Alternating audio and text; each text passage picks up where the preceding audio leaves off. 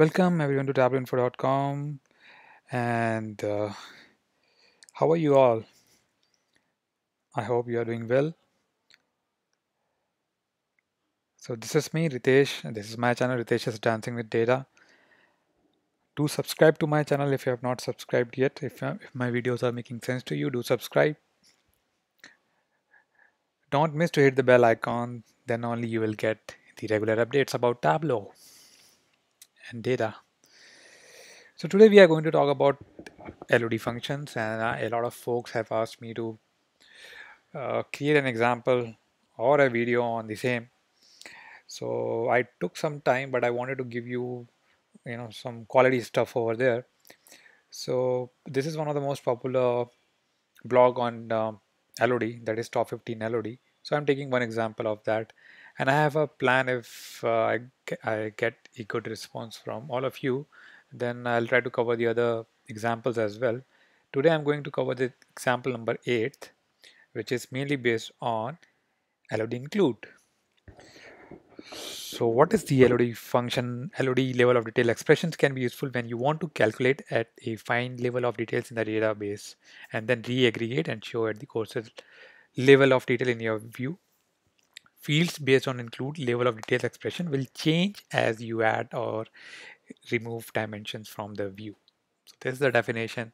But as we go through the example, automatically you will understand everything. This is just a definition. So I'm also going to include uh, those links over there so that um, that that you will get at the YouTube description. You'll get the blog, and remember that you that the workbook is included at this blog, so you can go and download the workbook that I'll explain to you right now. So let's go to the example. Here we go.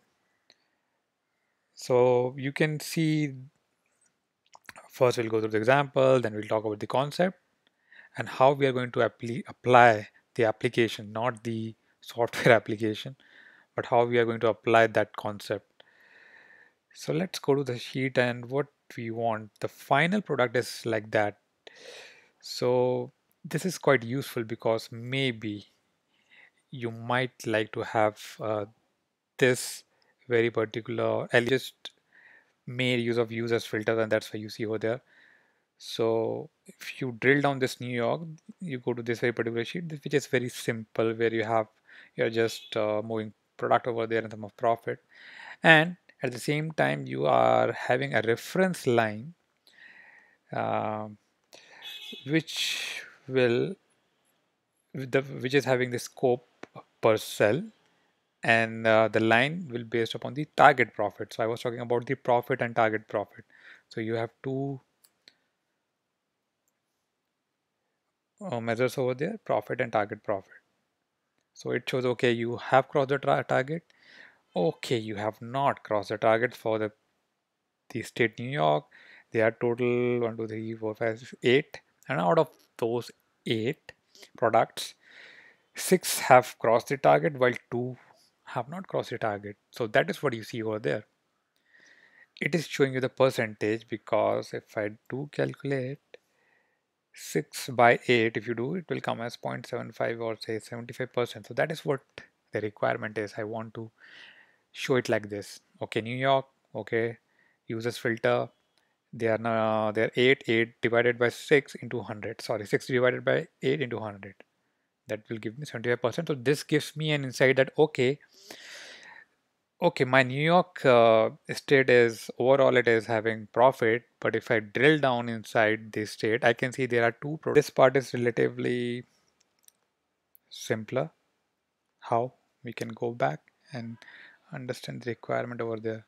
So here you have that very particular so what we have done nothing but we have dragged state to rows. And at the same time there is one field called difference between actual target and target profit which is a simple calculation profit minus target profit. So fair enough. So if you go back over there you can see the so I've just broken that into an another sheet so that I can um, make it clear that okay target profit is this profit is this the difference is 925 Fair enough. So we have got the difference, which is easy to understand, and we have to just do the subtraction between profit and expected profit or, or the target profit. Fair enough. But we want the other portion over there, right? This is the one which we are looking for. So what we can do? I'll go back and I'll say, okay, this I've got. The part one is okay. For the part two, I need to count the number of products, right? For example, and let me make it, this is a product. So if I just concentrate on one particular state, say New York, since we started with that only, so I would say keep only. So I want one, two, three, four, five, six. I want to count this, and after that, I need to divide that with the total count of the product, distinct product. Okay, but at the same time, I don't want this product over there. So I need to make the function, I need to make the use of function include.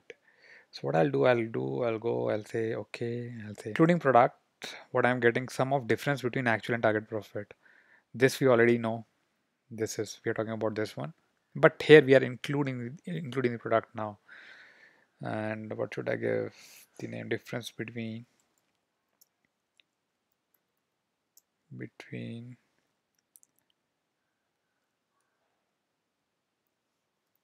actual and granularity is at product level fair enough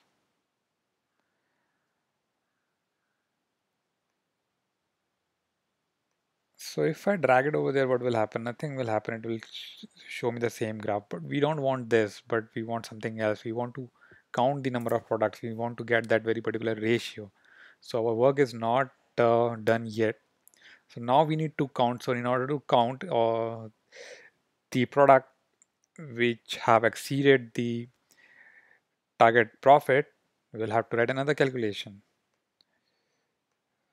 So that calculation would be number of products above target. So we can use if function and if difference is greater than 0 then give me 1 otherwise 0 fair enough. Now I get this num. So let me let us make use of the same. And remove this one. Fair now I'm getting something. Now it is giving me at least it is giving me the, that value. 6 1 2 3 4 sorry for the stating of 1 2 3 4 5 6 so I'm close. Now I need to calculate the ratio. So let me have another calculation. That will be like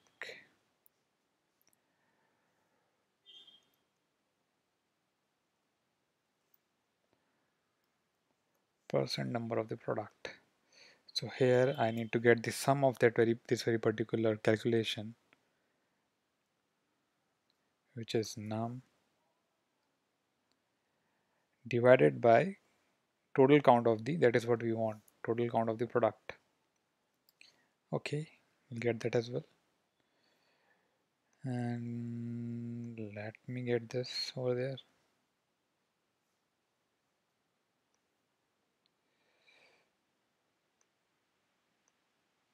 here you go. So we are quite close 0.75 I think we just need to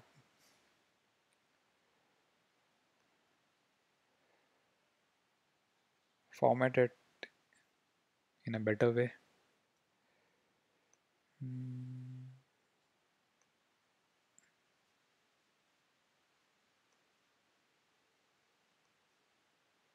want it and let us try to see this very particular visualization now.